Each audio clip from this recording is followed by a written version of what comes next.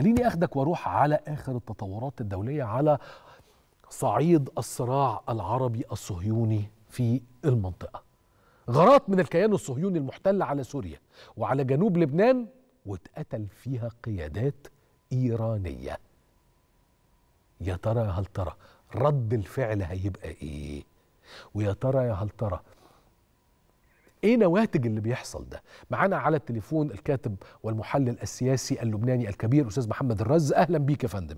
أهلا بحضرتك أستاذ يوسف. أهلا بيك. أستاذ محمد يعني بعد هذه الغارات الصهيونية على جنوب لبنان وعلى الأراضي السورية تتوقع أي شكل من أشكال الردود يعني أو ردود الأفعال خاصة إنه ما تم إعلانه في تقارير صحفية أن هناك قيادات إيرانية تم اغتيالها بسبب هذا القصف؟ نعم.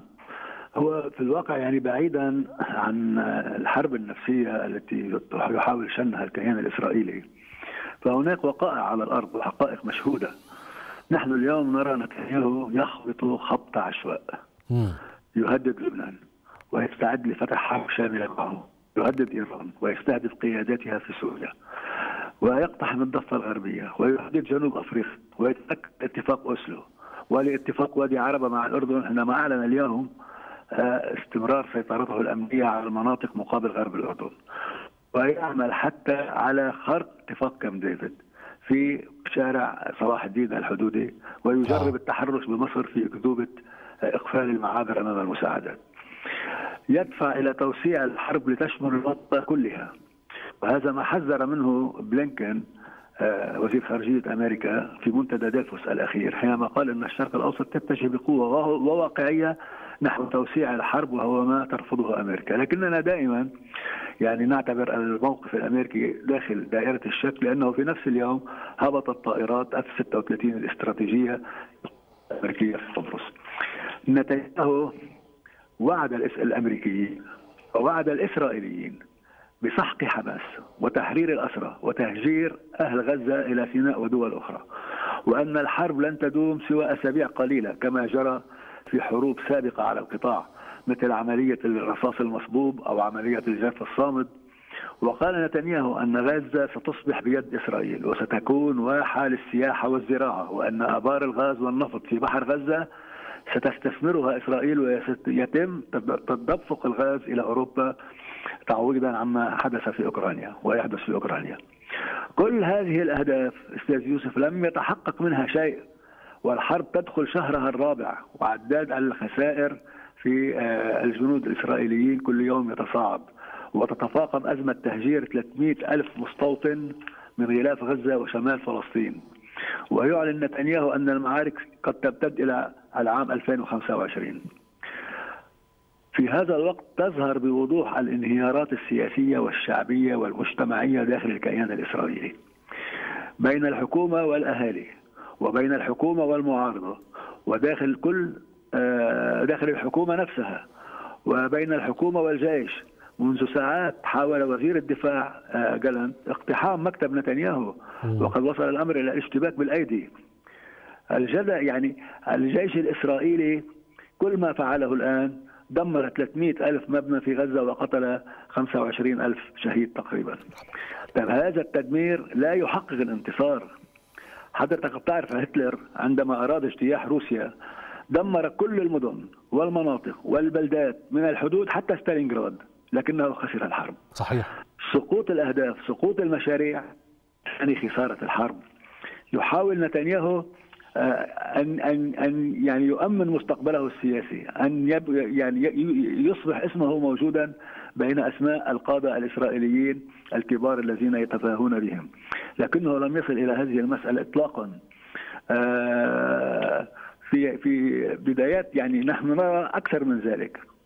بدايات مشهد سقوط مقومات الدولة في الكيان الإسرائيلي التي تحاول يحاولون تثبيتها منذ أكثر من 75 عاما. سقوط الدولة ولا سقوط حكومة نتنياهو؟ أستاذ محمد يعني في النهاية لسنا نحن من وسعنا بالتأكيد دائرة الصراع التي يحذر منها أنتوني بلينكن وإنما هم الذين وسعوا دوائر الصراع وهم الذين بعثوا القطع العسكرية الأمريكية والطائرات إلى آخره وبالتالي كانوا يحاولون من تقوية شوكة حكومة نتنياهو. الإيباك يدعم نتنياهو في الداخل الأمريكي. تعتقد إنه الدولة في إسرائيل هي التي يعني تذهب إلى السقوط ولا هذه الحكومة تذهب إلى السقوط يعني هو سقوط الحكومة الآن حسب ما هو متوقع آه، بسبب كل الظواهر والدلائل التي نشاهدها.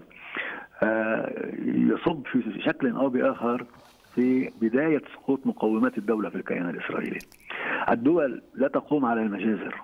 ولا تقوم بالفصل العنصري ولا تقوم بإهدار الأخلاق الإنسانية واستعباد البشر ولا باعتبار اليهودي هو السيد وباقي البشر حيوانات ولا تقوم الدول ولا تستمر بحسابات شخصية عنصرية. هناك بالتاريخ إمبراطوريات كثيرة اعتمدت هذه الأساليب فسقطت. الآن صوره إسرائيل في الرأي العام العالمي تتصف ب ب يعني بالعنصرية ووصلت إلى الحضيض. جالنت قالها منذ أسبوع. بأن إسرائيل تشن على غزة حرب وجود وليس مجرد حرب احتلال حرب وجود. هل يعني عندما يصل نتنياهو إلى الفشل في غزة وهي معروفة بحجمها الجغرافي ومعروفة بقوة الفصائل التي تسجل صمودا اسطوريا في مواجهة الجيش الإسرائيلي. طيب دكتور محمد هل يستطيع أن يحقق اي إنجاز في لبنان مثلا؟ طب هو ده سؤال مهم يا أستاذ محمد. ألا وهو إنه كل آلة الحرب الصهيونية بمنتهى التوحش للأسف دمرت تقريبا 90% من غزة وارتقى تقريبا 25 ألف شهيد لملاقاه ربهم سبحانه وتعالى. رحمة الله عليهم جميعا. لكن هل تعتقد إنه توحش القوات الإسرائيلية في غزة القصف على الجنوب قصف سوريا. آه وأيضا الآن تعمل إسرائيل ويمكن كان بقالها فترة على صناعة بنك أهداف سواء إذا كان من قيادات إيرانية أو من قيادات من حزب الله أو قيادات فلسطينية إلخ إلخ. تعتقد أنه لن يوجد أي رد فعل من إيران ولا أنه إيران وارد أن تتدخل وتقوم بضرب العمق الإسرائيلي. وهذا أمر بالمناسبة قد يزيد المنطقة اشتعالا والتهابا. إيران يعني وجهت رسائل قبل حوالي أسبوع أو عشرة أيام بصواريخ باليستية أطلقتها إلى سوريا والعراق وحتى باكستان. هذه الصواريخ مداها 1250 كيلومتر. يعني تريد أن تقول أنها تستطيع أن تصل إلى تل أبيب. ولكن الآن يعني هناك حسابات سياسية عند إيران. أعتقد أن يعني سيكون هناك رد ولكن سيكون الرد بالوكالة من من تيار المقاومة أو ما يسمى تيار الممانعة في لبنان وعدد من الدول العربية. سيكون هناك رد. وحدة الساحات يعني. نعم وحدة الساحات. سيكون هناك رد خاصة وأن يعني نتنياهو حينما قرر غزو غزة أو أو الحرب على غزة كان وراءه كل الترسانة العسكرية الأمريكية بناء لوعوده التي قالها ولتصوره للحرب ولما بعد الحرب. الآن إسرائيل أمريكا لن تستطيع أن تنجر إلى حرب جديدة في الشرق الأوسط.